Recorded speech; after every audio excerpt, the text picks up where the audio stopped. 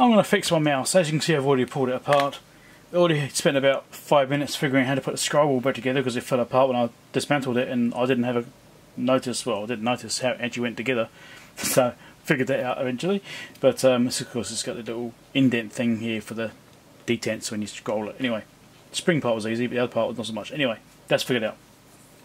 The problem I've got is when I push the left mouse button, which is this one here, obviously this one here, um, sometimes it will double click. And it's been driving me nuts because I've been trying to like drag things or just highlight something, it double clicks and opens it instead.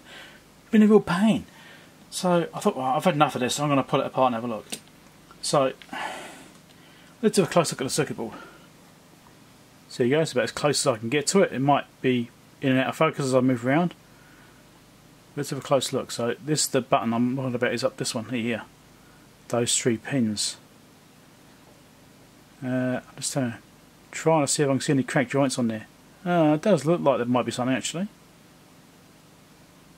That square pad looks like it might have a crack around it. In the solder joint, just very slight, maybe. Maybe. Can you see it just there? That shows up quite well actually, see that? I think it's cracked. Quite possible. So I think I'll resolder the joints on this, on these switches. And uh, chuck some cleaner into it as well while I'm at it. And see if that solves the problem. Alright, so start by resoldering. I'm going to use some my decent solder for this. Why not? So let's just resolder it and see if this does anything. Um, I say this is all I'm going to do is going to resolder it and put some IPA into the switch just feed it in from the top and see if that does anything. I've been using this mouse now for a couple of years. It's been a good mouse. I actually quite like it. It's a very basic cheap mouse but it's good. You don't need all this bloody gaming mouse rubbish. You know why spend five times as much on a mouse to do the same thing. I don't know. Anyway all these buttons you're probably never going to use anyway. So I thought, oh, might as well this side as well while I'm at it. Since I do right click as well. Right. So I'm just going to use some IPA for my bottle here. And I'm just going to pour that in. Just on both of those switches that you run in.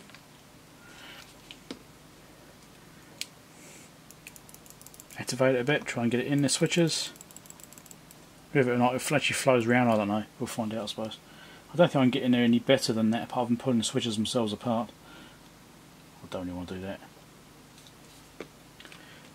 I no, I don't have any spare switches for these either. So definitely not going to be pulling these apart. It's only like a twenty dollar mouse, something like. Might, even have it. Might even actually might be fifteen dollars or not. Oh, they're cheap. So bit of cleaner in there, and resolder the pads, that means my chances are going to be reasonable that it's actually going to work now. With a bit of luck. The middle button should be fine because I almost never use that button. so not likely to be an issue on that one. So yeah. That will probably be it. I might give this sensor a bit of a clean as well, just make sure there's no residue on there. And put it back together. Alright, let's get that cleaned up. Let's put this thing back in the case. I do like the design this, is actually really simple. It's well designed. I like it a lot, it's actually really good. So that actually comes out this way, that's the back. So that sits in like that. To fit the scroll back in. So I'm going to show the scroll wheel assembly in case you ever get one of these and you don't actually notice how it goes together. It took me a little while to figure it out. So there's a wheel side there, so you've got the main post there, the wheel is on, unfortunately the lighting's a bit dim here.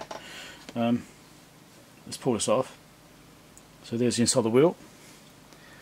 This there. And that post goes inside the hole on this side, which is also out of focus, of course. There we go. Maybe you can see it. So that the lighting's not doing me very favours, especially if you can score in, uh, zoom in on this. So yeah, that's how it fits is on there. It's got like a little channel, and just see it there. It sits in that. In case you ever have one of these things and it falls apart on you. And then of course we have the spring to put on as well. That just slips over here, that side, and that'll drop in. Alright, so let's fit this in place. It's got like a little slot in there it drops into. And then it's got the spring will go into these slots on this piece here as well to line it up. And hopefully it all goes. Come on the spring the springs in the right place. Let's get it seated correctly. There we go that's in there. Right so that'll just now sit like that. And it all clicks like it's supposed to.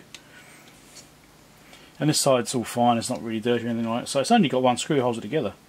It sort of hooks in at the front and one screw holds at the back it's quite a nice design none of this hidden screw rubbish underneath the the pads on the bottom or anything like that. So let's just try and wiggle this on.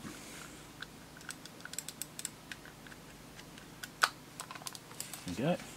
That's on there. Let's put the screw back in again and hopefully it works. No more double clicking. Well, I hope so. I guess I'll find out soon. I'm going to call that a successful repair anyway, because it probably will be. Thanks for watching, catch you later. Hope you found that little repair helpful. Bye. So thank you very much to my Patreon supporters. If you're interested in supporting me to help me buy items for mailbag or projects to work on, you know, bits of test equipment to repair, that kind of thing, any money goes goes towards that is helpful because it is expensive buying test equipment to do repairs on, especially if I'm not actually going to be using it that much or it's something I could do without. You know, as in most cases, you can do without things. So having a Patreon supporters and people that donate to me via PayPal is, is very helpful. So if you're interested in helping support me and um, you know contribute to the channel, then please check out my Patreon page down in the description down there. Click on the Show More tab. This is down there. So um, thank you very much for not supporting me. I enjoy making videos, enjoy showing what I'm playing around with.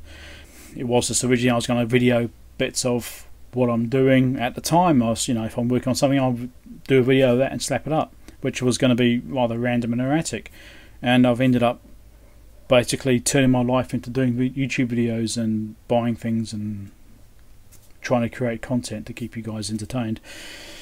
Yeah, if you want to support me, that's great. Because um, that'd certainly be appreciated because this is an expensive hobby. Catch you later. Thanks for watching. Click the bell icon. Bye. So I've got hundreds and hundreds of videos. So if you haven't seen my previous stuff, then make sure you go and look. I've got hundreds of them. So go and check them out. See a variety there. Go back and look at the back catalogue. Pages and pages of them. Pages of playlists as well. All these things too. Loads of them. Go and check them out. Make sure you go and watch more stuff. Watch more. Watch more. Watch more.